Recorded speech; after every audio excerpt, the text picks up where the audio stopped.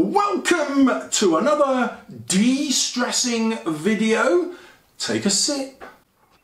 Decaffeinated so I don't get overexcited. 10 glorious pieces of advice which are going to make you feel confident, relaxed, prepared. At number one, you are the boss. The exam does not own you. You are in control. You decide which questions you're going to do, in which order, how fast you are going to write, and when you are going to finish. Top tip, you finish right at the end. There are no marks for finishing early. I'll explain how you can be the boss as we go. Number two, I have two little stories for you, which are analogies which I hope will stick in your memory and help you remember the most important thing about what you do in the exam. The first story is about two hunters. They're out hunting a bear, but they've used up their ammunition, out of bullets. But the bear is still charging at them. And one hunter, the chubby one, turns to the lanky one and says, What are we going to do? How are we going to defeat the bear? And the lanky one says, We don't have to defeat the bear. You just have to run faster than I do. And then he legs it. What happens? The bear eats the fat guy, the lanky guy, or why be sexist? The lanky girl gets away. So, how does this relate to your exam? This exam is about you taking control and being fast. The faster you write, the more points you make. The more points you make, the more marks you gain. So this exam is a test of sprinting speed. Literally, the more you write, the higher your mark is going to be. Even if you write some gibberish, the examiner won't take a single mark away. They'll just say, oh, that bit's a bit gibberish, I'll ignore it. And then they'll get to your next idea, which is not gibberish, and they'll go, ka-ching, a mark. My other story to help you remember this is two famous British athletes, true story, Linford Christie, a sprinter, Colin Jackson, a hurdler, and Colin Jackson was inches away from the world record. He just couldn't get there because his start was not fast enough. And Linford said to him, Colin, just go on the B of bang. Don't wait for the gunshot to go. Listen for the beginning. Go from the B of bang. And that, ladies and gentlemen, is the secret of the success that you can have in this exam. I guarantee you, if you look round after 45 minutes, you will see students doing this. Oh, I'm thinking really hard. Yes, that's a really good idea. Hmm, no, maybe if I did it like this and then they'll start writing and then they'll stop and think some more. Marks being chucked away all over the place. They deserve a spanking and they're going to get that spanking when they open up those results. You, however, are going to look up, see them and remember the spatula and say, no, Mr. Salles is urging me on. I'm going to write more and get more marks. You do not have to be any cleverer. You do not have to be brainy. You literally have to keep writing. Number three, I'm going to give you some advice about techniques. Please ignore that advice if it goes against what works. You've done your mocks, you know what works for you. If you start listening to me and I give you something that doesn't work, that is not de-stressing you. So keep what works. You've done a lot of preparation. Question four and question five put together are worth 75%, three quarters of your marks for this paper. Okay, so you can see that most students going from one, two, three, four and 5 are going to start losing energy and speed for questions 4 and 5 they will produce less good answers than they did for question two and three when they were full of energy.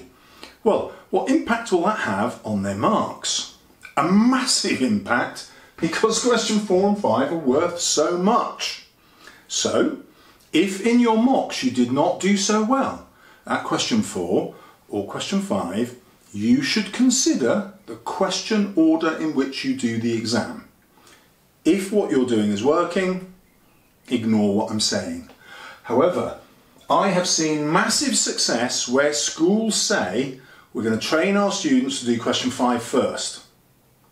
Then many schools go further and they say, well, what if they did question four next?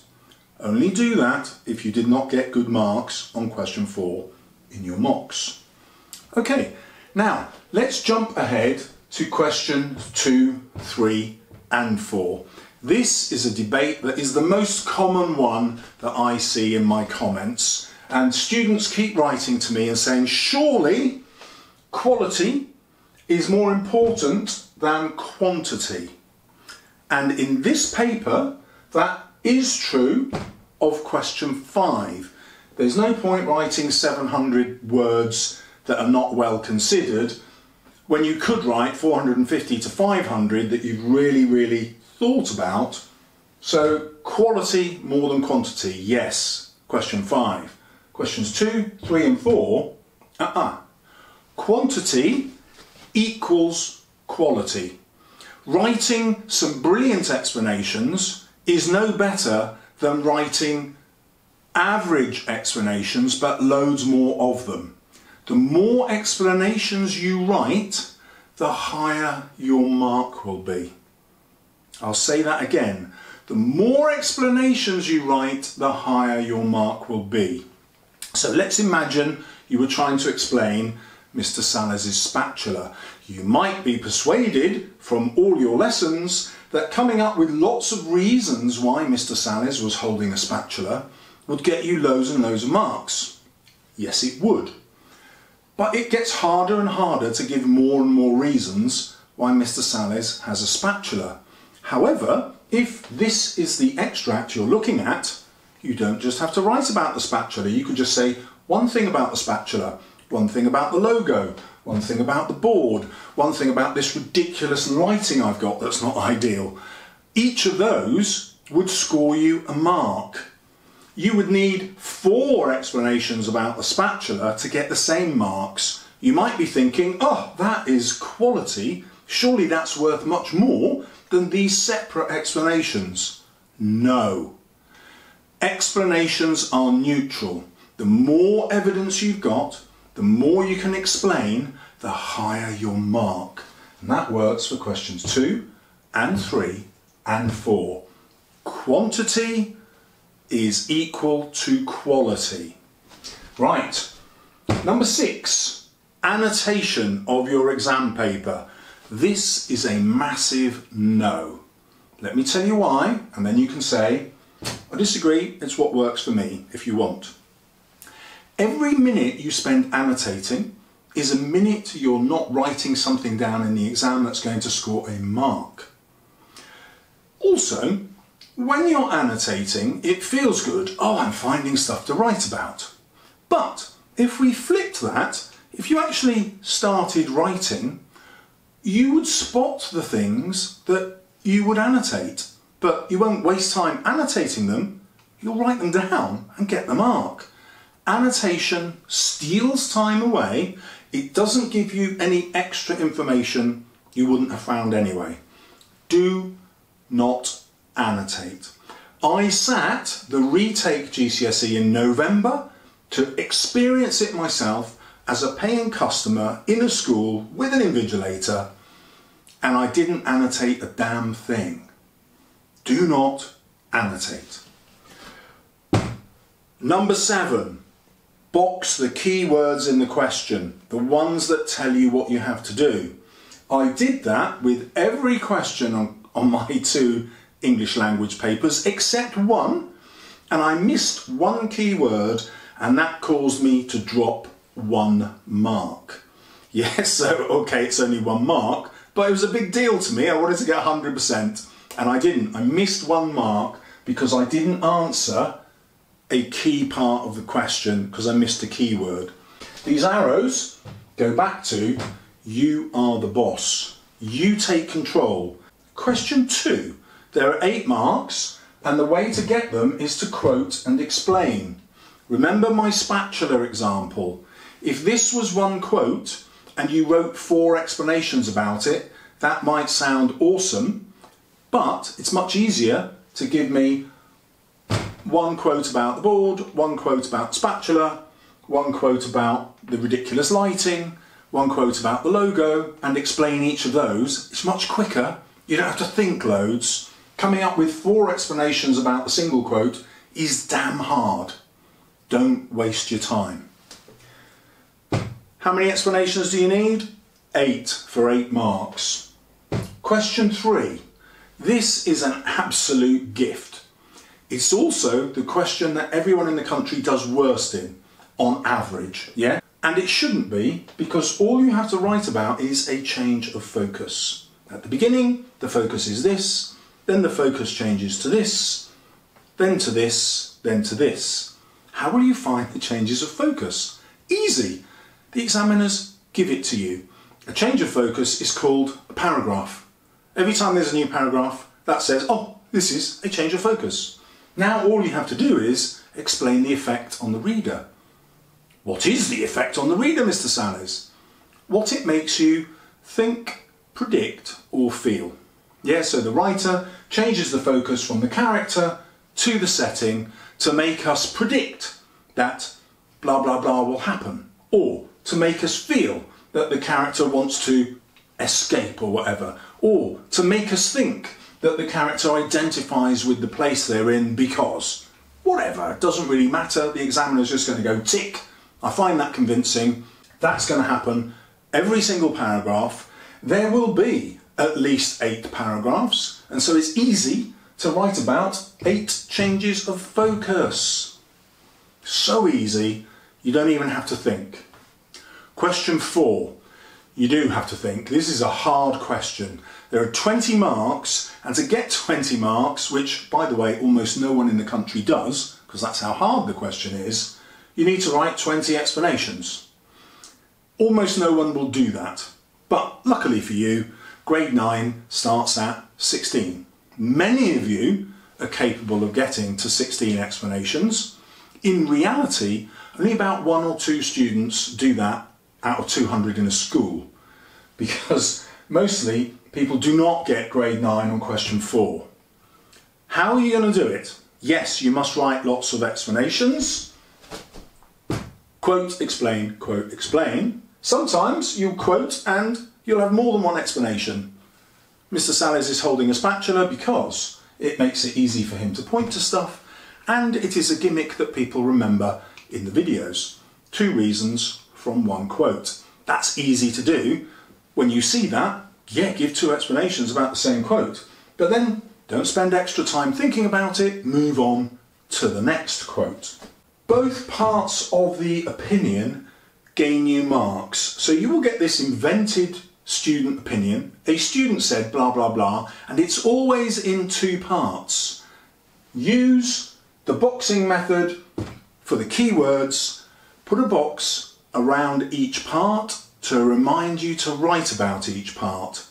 That also makes it really easy to come up with more explanations because you've got two things to write about. It's the way the examiner is gifting you marks.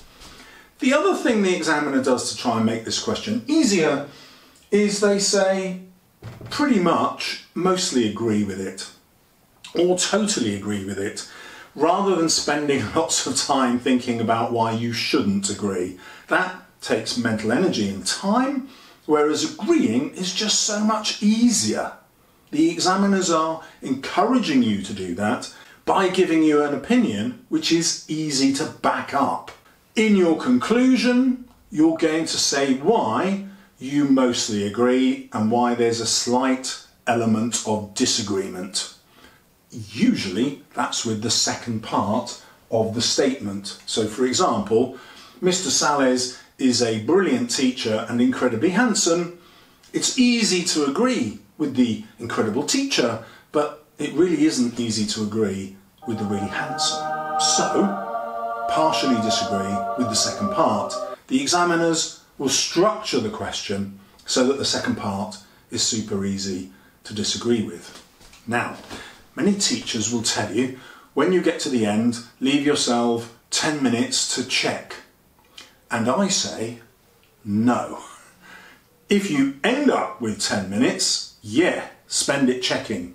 But don't do that. Spend your time writing your answers because points make prizes. You go on the beat of bang and you damn well keep going because the sprint is one hour and 45 minutes long. There are no marks for finishing early.